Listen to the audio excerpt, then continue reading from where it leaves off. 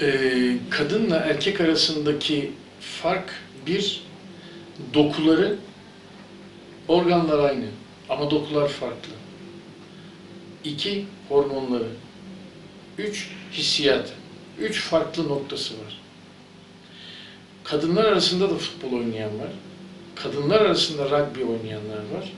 Kadınlar arasında halter kaldıranlar var. Ama erkek 350 kiloya kadar çıkıyor. Kadın 180'de kalabiliyor örneğin.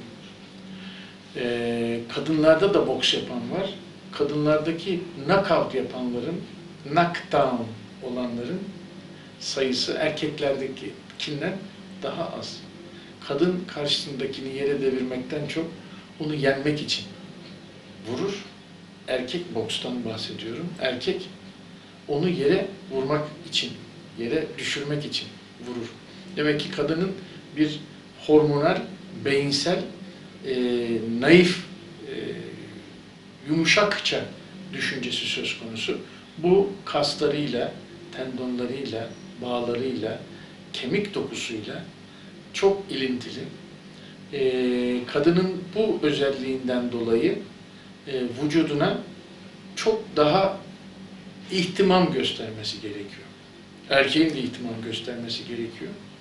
Ama unutmayın ki kadın yaşlandığı zaman beyinsel yaşlanması erkeğin beyinsel yaşlanmasından daha az. Kadın her zaman dimdik ayakta fakat dokular daha zayıf. Spor yaparken kadın eklemlerini mutlaka korumak, düşünmek zorunda. Spor yapmadan evvel herkeste olduğu gibi kadın daha fazla dikkat edecek. En az 10 ila 15 dakika warm up veyahut da ısınma veyahut da eşofman hareketlerinin yapılmasına dikkat edecek. Ee, yaşam bir dikkat zinciridir. Kadının bir dönem özellikle menstruasyon yani her ay 3 ila 4 gün görmüş olduğu adet kanaması esnasında derin duyusunda, derin duyusunda, fiziki derin duyusunda biraz azalma oluyor, düşmeleri artıyor. Demin de söylediğim gibi eklem bağlarında gevşeme söz konusu olabiliyor. Onun için daha dikkatli olması gerekiyor. Erkek de hayatının sonuna kadar pür kuvvet kalmayacağını bilmek mecburiyetindedir. Sonunda dikkat edin bütün annelerimiz e, babalarımızın annesi oluyor yaşlılık döneminde. Babalarımız da annelerimizin evlatları durumuna gelebiliyor. Demek ki kim daha güçlü? Kadın daha güçlü çıkıyor. Hangi konumda? Mental yönden, maneviyat yönünden. Ama dokularına baktığımız zaman kemik dokusunda da özellikle e, osteoporoz dediğimiz halk tabiriyle kemik erimesi olayı e, kadında daha fazla ortaya çıkıyor. O bir problem. Çünkü östrojen hormonuyla direkt ilintili. Lüzumsuz yere östrojen bindirmeleri yani yüklemeleri yapılıyor. Onun da yan etkileri işte meme kanseri, risk yüzdesini arttırma yönünden. Ben bunların hepsinden çok yaş çok ileri olmamak kaydıyla e, hareketin osteoporozda dahi çok çok önemli bir e, artı olacağını, bu hareketin basit zıplamalarla varsa, zıplamalar yapabiliyorsak, bisiklet çevirebiliyorsak, kondisyon bisikleti, treadmill'de yürüyebiliyorsak, osteoporozun en büyük ilaçlarından bir tanesinin başında geleninin daha doğrusu hareket olduğunu bir kez daha burada vurgulamak istiyorum. Ee, kadın ve erkek tüm canlılar yaşamak e, için savaş veriyor.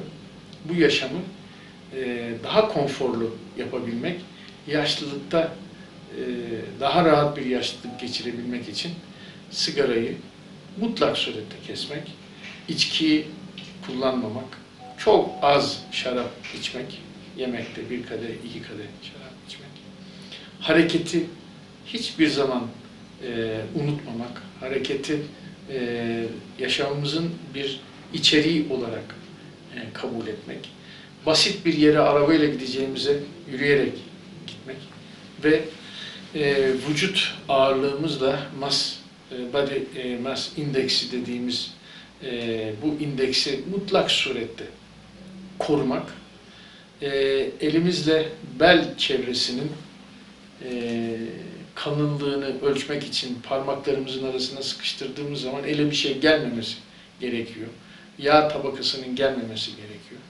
Tabi gerekirse de e, mutlak surette yağlarımızı kontrol ettirmek e, yılda bir kere de olsa. Erkekte prostat e, batın ultrasonografi, prostat muayenesi, batın e, ultrasonografisi belli bir yaş sonra kardiyak mutlaka e, muayenelerin yapılması, e, kan akışkanlığının normal standartlarda tutulması, yani bir derin ven trombozu veya arteriyel tromboz emboli meydana gelmemesi için önlemler alınması. Aynı şeylerin kadınlarda da e, araştırılmasında büyük yarar var. Onun için kan profillerinin yılda bir kere de olsa özellikle e, yağların ve kolesterolün değerlendirilmesi e, gerekmekte. Bunun için tabii sigortalar girmiş. E, sigortaların da parayı daha fazla verirseniz sigorta size daha fazla hizmet veriyor. Ama e, bir aile hekimi kontrolü ile her yıl yapılacak kan tetkikleri ve klinik muayeneler önceden meydana gelecek, daha sonra meydana gelecek problemleri önceden teşhis etmek e, aracılığıyla yaşamı daha konforlu bir şekilde sokma şansına sahibiz. Bu arada dünyada ölümü oluşturan problemlerin başında kardiyak problemler var ki son günlerde ani ölümler spor yaparken e, karşımıza çıkabiliyor ki bunun başında kardiyomiyopatiler, kalp kasının hastalıkları, gözden kalp, kaçmış kalp kasının hastalıkları. Ondan sonra insan ölümlerinin ikincisi de kanser. Bugün hala birincisi kardiyovasküler sistem hastalıkları. İşte kan tetkikleri, kanserden korunmak için önceden yapılan tetkikler e, yılda bir kez bir aile hekiminin kontrolüyle e, insanın yaşamını biraz daha konforlu şekilde getirecektir. Mühim olan uzun yaşamak kadar mühim olan uzun artı konforlu yaşamak her şeyin başında gelmelidir. Tabi bu arada beyin gücünün de her zaman korunması e, gerekiyor.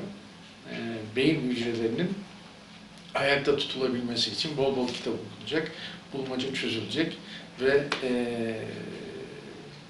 düşünce üretilecek, e, konferanslara gidilecek.